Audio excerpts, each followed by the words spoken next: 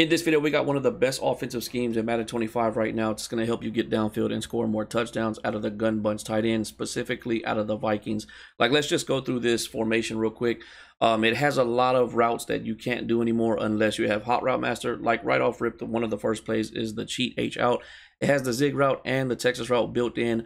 You got the cheat tight end uh, hitch HB seam that's going to have a wheel route from the tight end and slightly by the running back, or not the tight end. I'm sorry, it's actually a wide receiver motioning over and also the running back. And then you also have that cheat tight end hitch and go. Um, and then you have the OG plays like the triple out, the RPO alert bubble.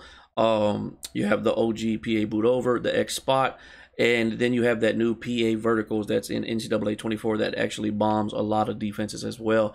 Um, that's one of my go-to plays right there, the whips. So let's go ahead and jump into my four main uh, plays that we're going to be audible in through. So let's jump into the audibles. It's going to be the PA boot over, the cheat H out, the whips, and the cheat tight end hitch HB seams. This is probably my favorite play out of the whole formation, and you'll see why when we get into the practice field. But let's go ahead and jump into the practice field real quick. I just want to say this. I do normally come out in the RPO alert. If I see a good look for the run, I take the run. If not, I audible to one of the other plays.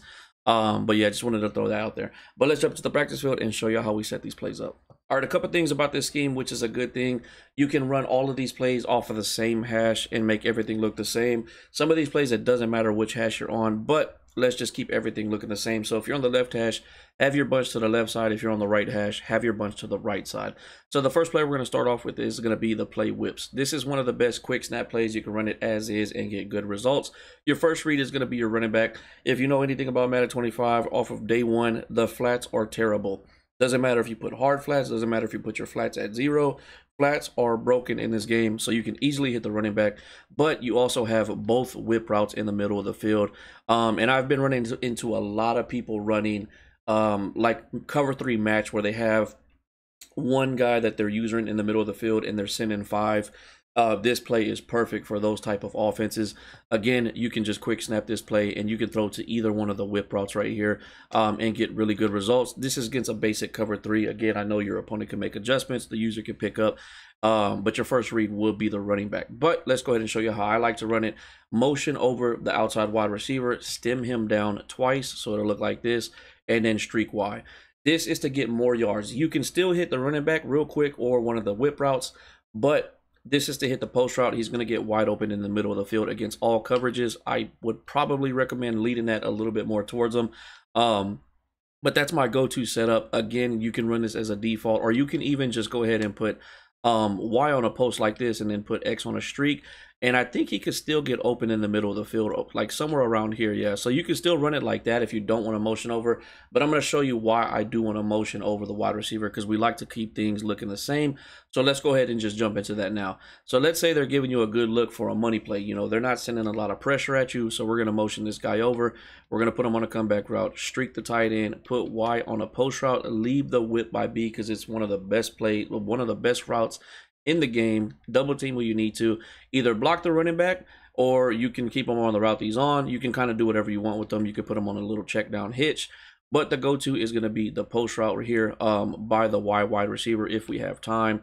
Um, this will bomb all zone coverages for a nice one-play touchdown.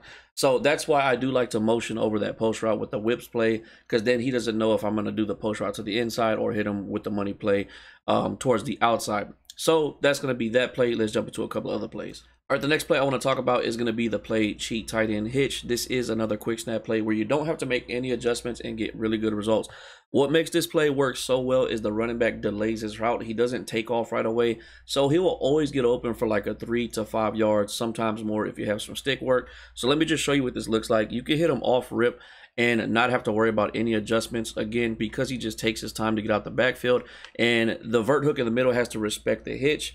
The flat has to respect the motion in wide receiver and then the running back will get wide open. So again just a nice little quick snap play just like the whips play.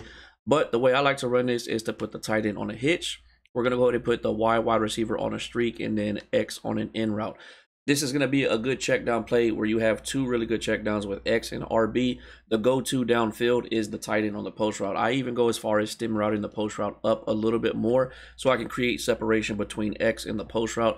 Um, uh, the go-to is definitely the post route. If you get separation from that, uh, he should have just caught that. But Um, basically, you're making that vert hook choose between the post route and the the the in route by X. And again, you always have the running back out of the backfield. Uh, let me go ahead. Okay, there we go. Now we got it right. So if that vert hook is following the, the post route, then that means you're going to have X in the, the middle of the field right here every single time. You just have to wait for him to pass that other uh, vert hook. Now, it also, again, depends about their user. Who are the user in? Most likely, it's going to be one of those those two guys right there. So that's just going to be something you have to watch. But again, regardless if they're watching the post route or if they're watching the in route. Now, the reason I choose an in route instead of a drag route because I want it, I don't want it to get across the field too quick. You can put the drag route. It, it's up to you if you like the drag route and how fast the drag route gets there. By all means, you know, you can do the drag route or the in route. But at the end of the day, you still have the running back coming out the backfield. And when we do that setup, you see how wide open the running back gets. So a really good check down play. Again, the flats are terrible in this game, but that's going to be the setup for this play. Let's jump into the next. All right, the next play I want to talk about is going to be the play cheat H out. This is going to be another go-to play that you can just go ahead and quick snap again because the running back does delay his Texas route. So because he does that, the uh, the zones have to respect the other routes going out, and you can see we get pretty open in the middle of the field right here. Uh, but that's not how we run the play. Let me go ahead and show you how we set this up. I really like this play because we have the Texas route available. But we're going to show you the best corner streak flat concept in the game right now. Um, I know the way you probably normally do it, it doesn't work that well. So let me show you how to get this done. Um, what you're going to do is put your outside wide receiver X on a corner route, put Y, your middle wide receiver on a streak, B on a flat. This is the best corner streak flat concept in the game right now. And I'll explain why. It's really because the way the vert hooks play in this game. The vert hook, the guy with the fire over his head on the left side, that's a vert hook. But if you put the inside guy B on the corner route and you try to streak X, for some reason they will follow the corner a lot a lot longer than you would want them to and that's what will make you make mistakes so if you do it like this the corner route gets open a lot quicker so you don't have to worry about that um, and then from there what you're going to do is motion over the running back now if you have a Titan apprentice or hot route master put the Titan on a trail route this route combo right here is insane so first we're going to just show you you can throw it to the corner route this is how you want to run your corner streak flat concept hit it to the sideline, read the flat. If he's shallow, throw it to your corner. If he's deep, throw it to your flat. So that's going to be that. But I do want to show y'all this. Um, so if you do have Titan apprentice or you have hot route master, uh, which I know we're trying to stay away from hot route master, but this combo right here between RB and A is deadly. The the the vert hook is gonna have to pick and choose. Who am I gonna guard? Like that is deadly right there. So that is definitely a go-to. Um, but if you don't have Hot Route Master, let's go ahead and show you how we're gonna set this up. So same thing with the trio on the left and then motion over the running back. Put the tight end on a post route. Everybody can do the post route and then stem it up once. Same thing, the the vert hook is gonna have to choose between the post route and the Texas route. If they try to bite on the Texas route, look for the post route. Um, if they're like unsure, you're gonna just be able to hit them like that for a little quick gain. Uh, if you have some stick work, you could possibly uh, get a few more yards. But there's just a ton of there's tons of things you can do with this specific formation and uh, this play right here because the, the the whip route and the Texas route. And then let's go ahead and talk about the last play, which is going to be the PA boot over. This is my go-to. I just need three yards.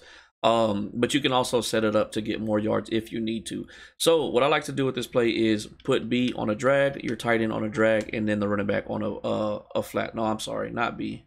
Wait, did I put Y on it? Yeah, I, actually I messed that up. I put Y on a drag. Don't put Y on a drag. Leave Y on the route that he's on. Let's go ahead and audible back out. Uh, okay, there you go. So put B on a drag, put A on a drag, your tight end, and then you're running back on a um a flat route. Now, if you want to go a little bit further with this, this is just a check down setup. So you can hit the running back off rip if their flats are um, playing pretty deep. Hit the running back, but it's this is more uh, more for the drag routes. You're gonna hit one of the drag routes, but we can also set this play up to get more yards downfield. So what you can do is go ahead and drag B, motion over X, put your running back on an in route and streak the tight end. So you can just do something like this if you want to. And we're, we're basically clearing out for Y uh, to clear out some zones which he should get open right about there, and you can get some good yardage. Um, I didn't even lead that ball at all. I could have probably let that down a little bit and got a rat catch. But that's going to be for this little scheme. Again, come out in the RPO if they're giving you a good look like this. Um, you see these two guys, how far apart they are. If you ever see that, run the RPO. Um, but that's going to be it for this game. Y'all definitely give this a try. It has been helping me. I, I started off Madden 25 struggling. I've, I've been trying to find a scheme. I'm still trying to look for a really good defense. We're definitely working on that. But give this a try and let me know how it's working out for y'all.